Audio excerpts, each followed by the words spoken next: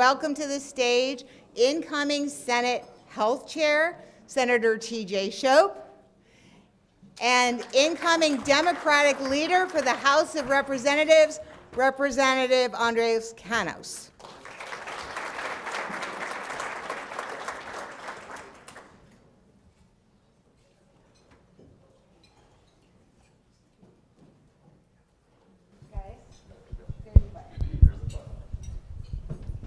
All right, so we have some interesting things going on right now in Arizona, um, but we also have a really exciting time coming up um, with a new governor, a new legislature, and rumor has it over 40 freshmen in this legislative class out of a total body of 90. So that presents us with some interesting opportunities as we go forward. Now, I'm, I have the privilege of knowing both of these leaders, but I am going to ask them to briefly tell that you a little bit about who they are. This is not their legislative priorities or their wish list. Who are you as Arizonans? TJ, do you want to start us off? Yeah, you bet. First off, thank you for having me. Uh, a little bit of a last second uh, call to the bullpen here. Uh, if I, uh, as evidence, I don't have a tie or a coat on, so I apologize for that. Um, but uh, President Petersen uh, wasn't able to uh, to join. I, if I find out that he was playing in the snow with his kids um, instead of being here, then well, no, I'm fine. It's all right. Um, you'll enjoy me better anyway. Um, so I'm TJ Shope. I was born in Florence, Arizona, at a hospital that closed down like 25 years ago, um, and uh, have resided in Coolidge for uh, all except for the three years that I attended Arizona State, uh, and um, have uh, you know grown up in a, in the grocery business uh, that we just sold about a month ago. So uh, you know the American dream continues you build something, you create it, and you hope somebody uh, gives you a lot of money for all of your work that you have done. Um, I would like to think that it's so much that I'll never have to work for the rest of my life, but alas, I will continue trying to seek employment and or the benefits that the state of Arizona has as far as being a legislator. Um, so uh, we have, uh, so I mentioned we did that for about 70 years. Uh, third generation elected official. My dad was a mayor for a long time. His dad was a city councilman. Um, and on my mom's side, uh, uh, the first generation uh, born here in the United States. Mom and my family's from Mexico, and uh, only in Arizona, right? You get to go ahead and spent four years as a Speaker pro tem, and, four, and now entering as the uh, President pro tem of the Senate. Uh, it's a wonderful place. To those of you who are not native Arizonans, I know that you got here as fast as you possibly could and um, it was unusual. I spent the last uh, 10 days in Hawaii sweating because uh, it was like in the 80s uh, on the big island, and I, I sweat a lot. Uh, uh, you know, this is, it's not, it's not very nice. But today, I was ecstatic that it was, you know, when I walked out of the door, it was 35 degrees, and I felt pretty darn good. Um, so, uh, I, you know, call me crazy, but I'm enjoying it uh, and it, it, does feel make you feel a little bit more like Christmas and the holiday weather. So look forward to, to hanging out with you guys uh, for the next uh, I don't know when Joan's going to kick us off the stage. Thirty minutes. Thirty minutes. Uh, so mark that down. Um, but uh, look forward to uh, serving with Mr. Cano for the next. I don't know. Hopefully, we don't go all the way to June 30th, but you know, we'll see. June 29th. June 29th. All right, let's cut that down a, a day. Uh, but uh, look forward to doing so. I'm excited, generally excited about about what's going on. I've been there for uh, 10 years. Uh, we'll start uh, my 11th uh, coming up, and at 38, it's hard to for me to believe that I'm one of the longest serving legislators now. Um, but it is something that I'm excited about, a new challenge and a new opportunity when you have divided government as we do and I think that we will still be able to accomplish a lot of goals, and hopefully we'll be able to talk about some of those here. Absolutely. And Andreas? Well, good afternoon, everyone. I'm Andres Cano, and I have the honor of serving as the incoming Democratic leader of the state uh, House Democrats, and this is my going to be my fifth year. I first want to thank uh, of course, Joan for the invitation, and of course to all of you for being a part of this critical industry that is going to transform our state's chapter and our economy. Uh, I also want to, of course, congratulate uh, colleagues on my side of the aisle who were recognized, Representative Daniel Hernandez as well as Representative Shaw for their incredible contributions, and I know Ms. Cobb had to leave, but um, I come to the state legislature from Tucson, Arizona, born and raised by a single mom uh, first generation college graduate, and as a fellow Arizonan who was elected at the height of the Red for Ed movement in 2018, where Arizonans wanted to come together and get us to get along, uh, work together in a bipartisan way. And uh, since 2018, the House that uh, Senator Shope, now Senator Shope, um, you know, used to belong to, and I think he's always going to be a House veteran. We elected 29 Democrats, and in a 31-29 split, what I hope you'll be able to hear from our conversation this morning is how we're going to continue to now progress with a Democratic governor, a Republican Senate, and a Republican House. Uh, I think there's a mandate, Joan, from Arizonans that on the issues where we can agree that we're going to be able to be prioritizing those key priorities. And so that's what I would like you all to know about me in the next two years as I lead the Democratic caucus. Thanks. Thank you. And, you know, that's a. As my children say, don't ever step on applause, Mom. Uh, so, as we, that's a great lead in. So, TJ, what do you see as some of the priorities for next year? Well, I think that, um, you know, as we look forward into the upcoming year, I, look, I, am not going to sugarcoat. Gridlock will probably be one of the themes uh, of the upcoming session I, in, in, many respects. However, I, I, don't know that that's necessarily um, entirely negative. Uh, we think of gridlock being a, a negative word. However, what it also could mean is that many of the things that we waste time on, that we probably shouldn't waste time on, will probably be things that we don't waste time on in the upcoming year. Uh, and, and what that does lead to is the, uh, the bigger ideas, the bigger uh, problems that face a state. I, I have just come, I, I mentioned I was in, in Hawaii. Uh, one of the things I was there uh, doing uh, was representing Arizona's uh, in our lower basin states uh, along the Colorado River and talking about water. I think this is a, a tremendous opportunity that we will have uh, going forward in the water conversation. And, and frankly, uh, to have uh, Governor elect Hobbs there and somebody I th- think that the Biden administration will actually, you know, probably listen to about the concerns that Arizonans have on the water conversation will probably be very helpful. And, and I think that because the legislature serves as that type of check, uh, there, it won't mean that industries like agriculture or the business community are going to suffer for that, right? We are going to have to come, we have big issues facing us, and we are going to have to come at them holistically in order for anything to be accomplished. And I do think that that's an opportunity that we should most definitely take advantage of. Thank you. Andres? Thanks, Joan.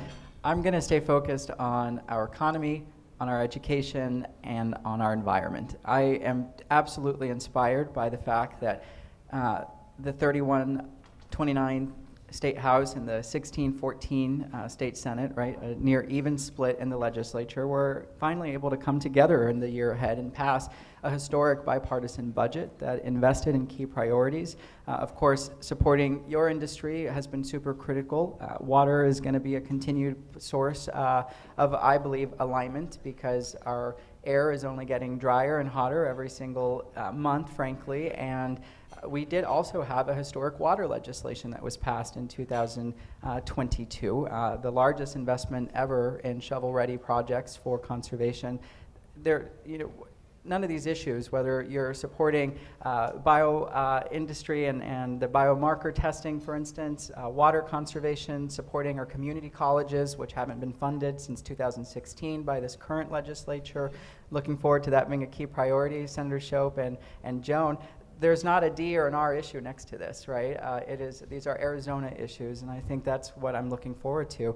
Uh, Governor-elect uh, Hobbs uh, and I did meet last week along with Leader Teran. It's my understanding that Senate President Warren, as well as uh, Speaker Toma, also met with her yesterday to discuss how we're going to move forward. And what I don't want, similar to Senator Shope, I think he just su suggested, is I don't want this to be an administration that's going to be focused on veto power, right? Uh, we Democrats are going to stand united in solutions for uh, job innovation, for creation, for protecting our environment, for supporting our schools, and that's, I really, truly believe, the framework that we're entering with the 56th legislature. Well, thank you, and I think, you know, with the three of us, we're all taking a major cut in pay to try and do what's right for the people of Arizona. And, I mean, I, I, I would be the first one to vote them a raise because this is ridiculous. But the Twenty-four reality- a year, come on, that's tremendous. Well, you only work part-time. They do not work part-time. So as we look towards the future, okay, we, we do have some big challenges, but we also have some tremendous opportunities. And as I said earlier, you know, inflation is not good, but inflation is good for the general fund. So, you know, in the first four months of the year, um, based on JLBC numbers, we have already are $676.8 million dollars over the budget projection in four months. And just like some of the one-time money that the governor is still holding, you know, with the feds that he's going to have to deploy on, on different things, um, that, eh, you would think that when we have too much money, that's a good thing. If we don't have enough money, everybody works together to get it done. When we have extra money, everybody fights for their piece of that proverbial pie. And so it really becomes challenging for our elected leaders to deal with that. Um, we had that issue this year. It looks like you're going to have that issue next year. So I'm throwing the ball back to you guys. How are you going to deal with that? You can give it all to me, by the way. Come on, TJ, go for it. All right. Well, look, I, obviously, we're going to have to, uh, as I mentioned, for the first time in you know over a dozen years, work a uh, entirely bipartisan way. I mean, you know, the reality is is that when you have di- divided government, by definition, you're going to have some sort of bipartisan uh, solution to a budget uh, process uh, this year. Now, with the additional dollars, obviously. I will say yes, you're right, absolutely. One of the things we're cognizant of is threat of recession, things like that. We have a substantial amount of dollars in the rainy day fund. I think we are better positioned in 2022, moving into 2023 than we were, say, in 20, uh, 2007, 8 uh, timeframe. And I think that former Representative Robson over there probably still has bruises and is probably still banged up from those uh, sessions back in that day. Uh, but you know, the economy is diversified here in Arizona tremendously from that period of time, and the economy continues to grow as as mentioned with the increase in the uh, in the fund. So there are needs. There are still needs in the state. Uh, you know, we have. Uh, uh, I think President Cano brought up Com Colleges is one for Maricopa and Pima County. The others uh, uh, obviously are still part of the formula, but we have not included those two counties in the formula. It's something I've been a proponent of uh, for the last decade. Uh, it is uh, something I hope to see there. We still have challenges uh, in transportation. We still have challenges in higher ed elsewhere, and obviously some of the priorities that this organization supports, which are tremendously important in luring the uh, other industries around the country that want to locate elsewhere. Uh, you know, I think of things like Mayo's expansion up in North uh, North Phoenix, uh, what we're doing downtown Phoenix, things like that. Uh, are not really possible unless you have an organization like this pushing those issues to the forefront to ensure that uh, that the atmosphere is, is right here in Arizona for those type of industries. So it's something that I'll uh, be uh, keeping a keen eye on uh, as we uh, enter the session. Andreas? Thanks, Joan. Uh, I first want to really commend Senator Shope for the bipartisan understanding, the lens that he brings to the Capitol. Uh, I have not served as many years as he has in the legislature, but I've always appreciated the ability for us to figure out where the middle is. And uh, as your incoming Democratic leader, I uh, committed to my caucus not only an open door to business, but to all of the industries that are going to be critical to transforming our state uh, from uh, supporting research and development at the legislature, which unfortunately, of course, did not make it through in the last cycle, to supporting the Prop 400 extension that is critical to Maricopa County's investment. We've talked about uh, the universities and our community colleges, their extensive role, especially in some of those areas where we still need some help, right? We learned during the pandemic that our Navajo Nation does not have access to cleaning water.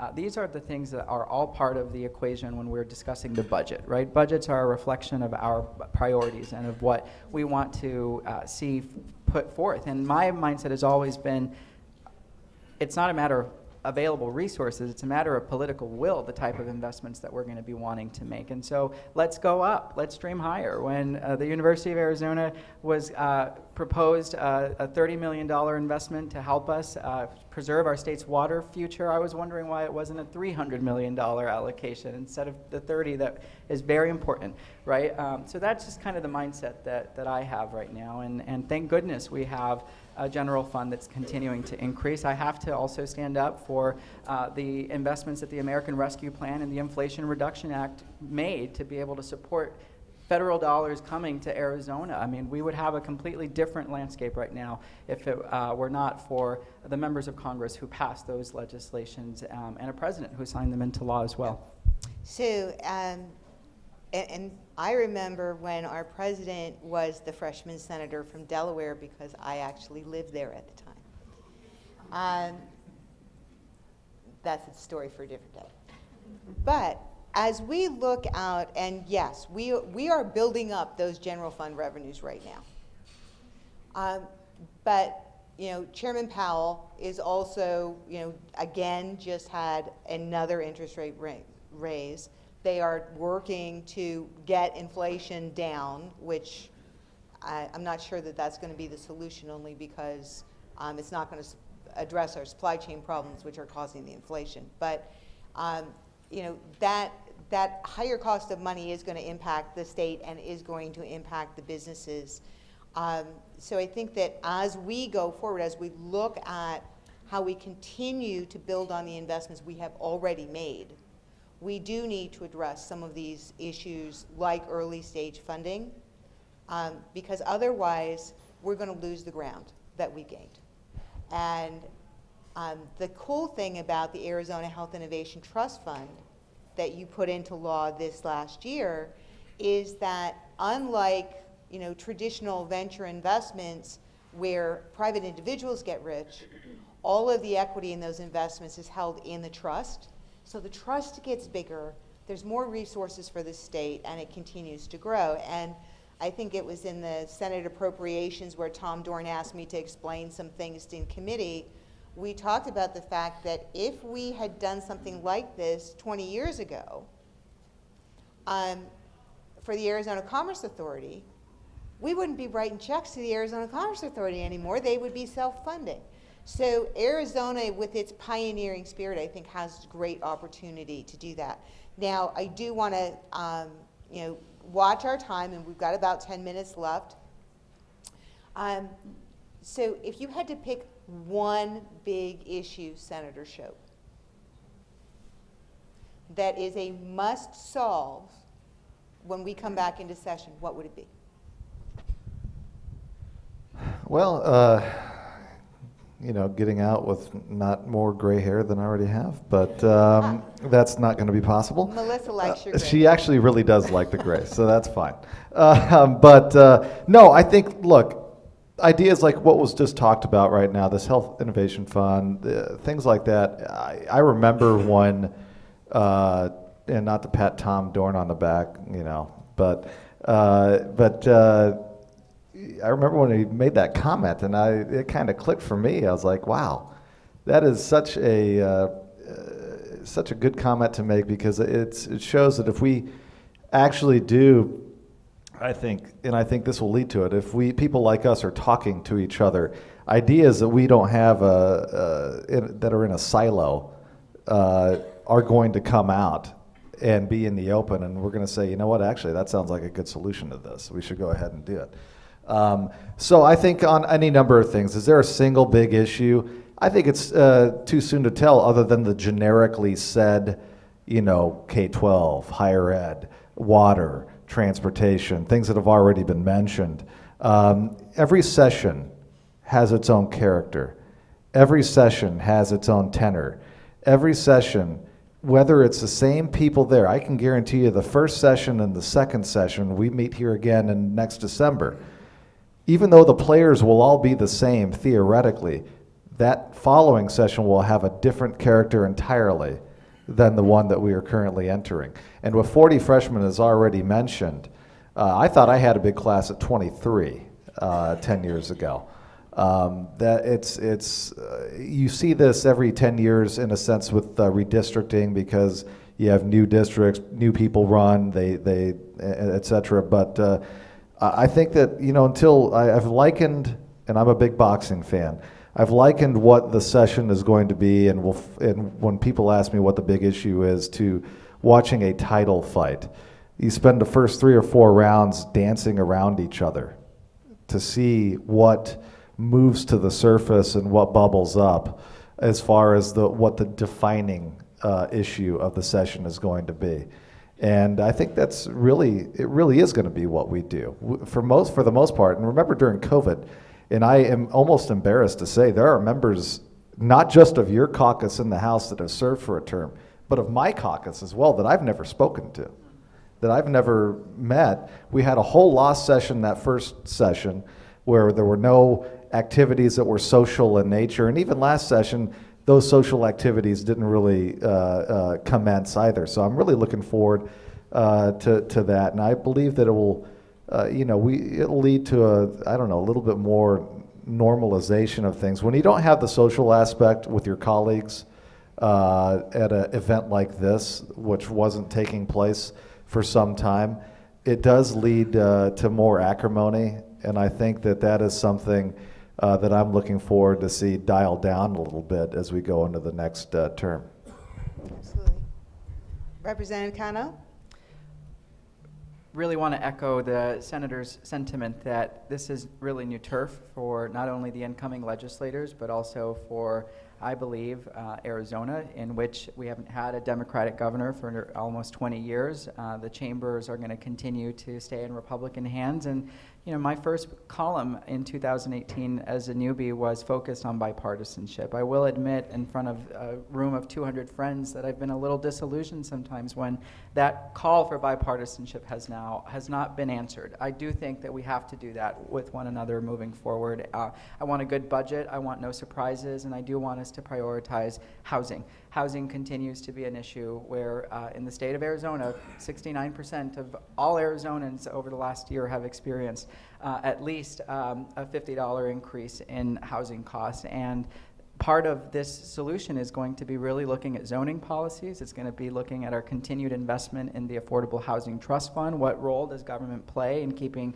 uh, prices down and supporting a strong uh, workforce uh, that attracts people while also ensuring that those same folks that we're trying to attract have a home that they can afford, right? And not have it be in just um, you know, the uh, like in my district, people are moving out uh, into uh, out out of the city, going to the cheapest places where they can afford it. Not because they, um, you know, want a, a uh, any different environment. That's just where they're going. And folks in my district, since the pandemic, have been really trying to figure it out. And this is not going to be an, is, an easy issue, right, Senator? It's uh, um, there I will upset people moving forward in all of that because of the kind of negotiations and compromise that we're going to have to make. And so I'd say that, Joan, Senator Shope, um, and want to also uplift the fact that one of the things that I've paid close attention to we put a down payment on water policy in the last legislative cycle, and it was really more focused on the 20-year plan rather than like the next two to five-year plan. Uh, and and we've got to do something with uh, the federal government starting to step in and really say you got to move. Uh, and so those are those are two additional issues, a little bit more that we haven't talked about that I wanted to give voice to. Yeah, Joan, if I could really quickly, I think that you bring up a, a good point. For the, the housing conversation for the last few years, because access to capital was cheap, has not impacted homeowners or people attempting to move into homeownership, right? Uh, when you have interest rates, I refied uh, a few years ago at like 2.75. You know, if you have the uh, availability or if you're selling a home, you're able to move into a different uh, space. With rates increasing as they are, it is now no longer a conversation about rent it is a conversation about home ownership and the uh, uh, affordability of, of, of that overall, and frankly, delay what the delay in a person purchasing their first home. We're, it's like 1980 all over again uh, uh, when you, when you talk about this stuff. So that is the new wrinkle in this conversation. If there is one issue that could bubble up, I could easily foresee that one being one an issue that comes up and I'm going to interrupt one more time just because I think what Joan and the members have facilitated is the ability for us to see common ground with 200 witnesses, right? And uh, and tape. And and ta- oh and tape. Oh man, we're now we're, now we're really in trouble. Um, we're here to discuss really a, a, the the major part that your industry has played, which is healthcare, right? And if we can't advance and protect uh, Arizonans' ability to rent a home or to own one, there is no health care. Uh, there, it, becomes it becomes a second or third or fourth thought, and that's why it's so important to continue supporting the fund. I wish we would have made that 20 years investment 20 years ago because the endowment would be different today, as you suggested, Joan. Um, and so I'm excited to continue to make these tangible investments that are going to be super critical, super important, and most importantly, uh, ask all of you to pay close attention to those underlying issues uh, about economic justice, about income inequality. Uh, those are all part and interconnected to healthcare delivery. So as I look out across our next 30 years, you know, this third decade for AZBio, um, workforce is so important. And you know, one of the things you guys are going to have to deal with before the beginning of March is the education budget because we have a constitutional limit. Um, any ideas when they're going to start actively having some real discussions around that? I, I think we're out of time between now and the new session. Yeah, I mean, I've been pretty open. I'm very clear on where I'm at. I, I think it's a victory lap type of issue for, for especially for me. I've voted for budgets that increase K-12 spending, and the fact that we're up against the cap is because of those budgets that have pushed us to the cap. So it's a no-brainer for me to take the victory lap, and I know that there won't be any rose petals thrown in front of my parade, but uh, th- metaphorical ones, I'm sure. All right, so um, Andres, I'm sorry, go ahead. No worries. I want to applaud Senator Shope for being an independent voice in his caucus, particularly as it relates to K-12 investment. The money is there for our schools to spend. It makes no mis- it makes no uh, sense for us to try to hold our schools hostage to dollars that were already expended. And I, I support Speaker Bowers when he said, let's reform the cap altogether for the aggregate expenditure limit. Get rid of it so that we're not doing what we do to a lot of folks in this room, which is force you to have one-time expenditures at the legislature where you have to come beg us to do the right thing. Um, let's let's fix it. Let's let's let's look 10 years, 20 years down the line, and that's my commitment moving forward. I wish that what, you know, there's a lot of rumors about us being in special session next week, and it sounds like it's going to be everything inside of the toolbox uh, for, you know, the, the, the wish list of the outgoing legislators. I would rather we focus on AEL, the aggregate expenditure limit, and making sure that we can support some good paying jobs and high quality investment with 400, the Prop 400 extension. That'd be my request. But I'm just, I'm uncertain. I don't know if I'll be in, if we'll be in town next week or not, you know, but that, clean AEL, clean special session. well, that you know what? that gives you guys a couple of really important things with deadlines to work on because sometimes when you have a deadline, you have to work to get things done. Um, so I, I want to, and I, and I noticed Jim Waring here. I remember my very first Trailblazers when Jim was actually in the legislature, and um, now he is with City of Phoenix, who's one of our strongest partners. It's very nice to see you, Councilman.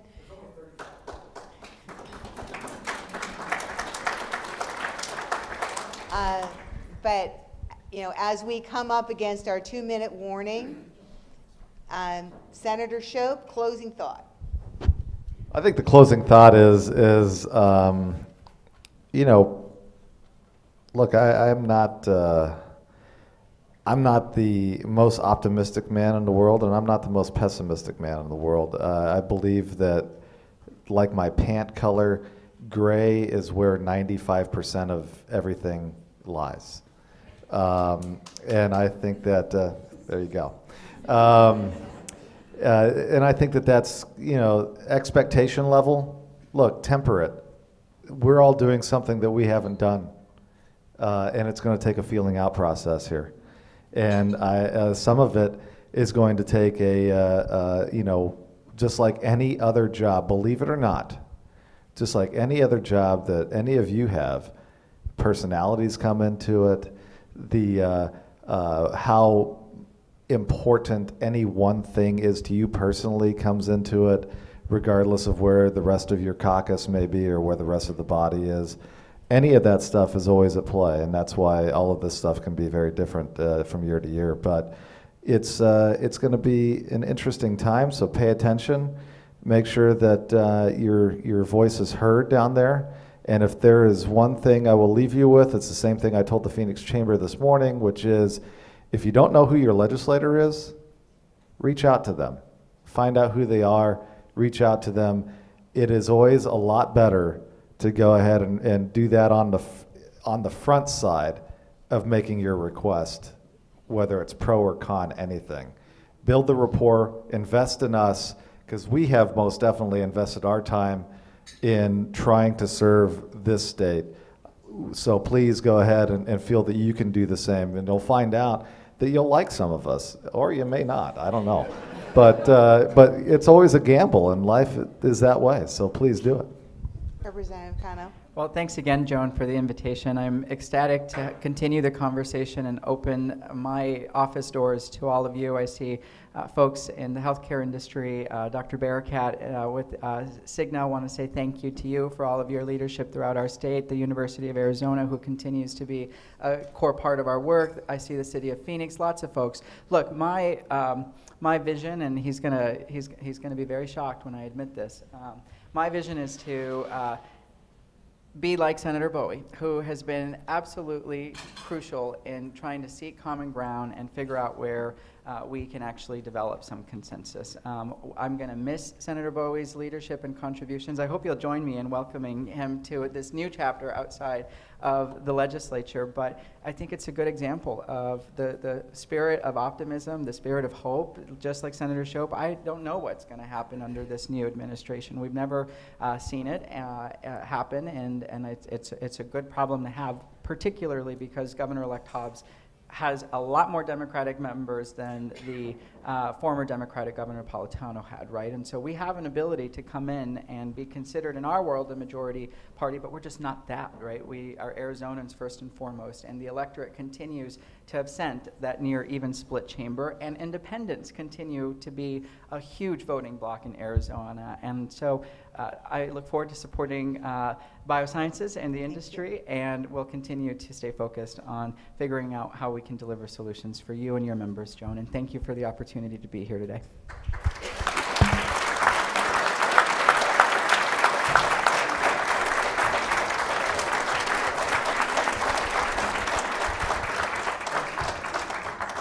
So as we wrap things up, um, first of all, to see all of you here and healthy and working together to make life better for everybody in our state. Thank you so much for everything you do.